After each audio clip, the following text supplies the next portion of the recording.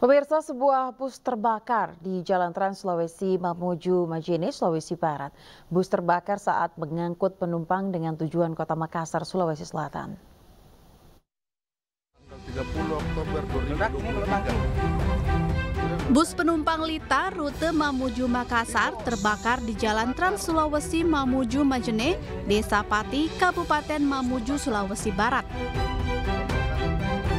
Bus membawa penumpang tujuan Makassar tiba-tiba terbakar saat melaju. Kebakaran membuat panik warga sekitar. Api berkobar hebat menghanguskan bus seisinya dan baru dapat dipadamkan setelah dua armada damkar didatangkan ke lokasi.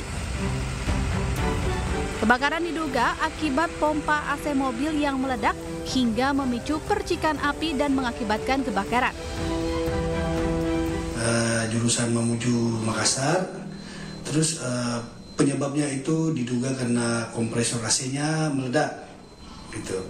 Terus tindakan damkar, jadi kami langsung merespon begitu masuk panggilan, langsung menurunkan dua unit armada. Makanya kami langsung menurunkan juga.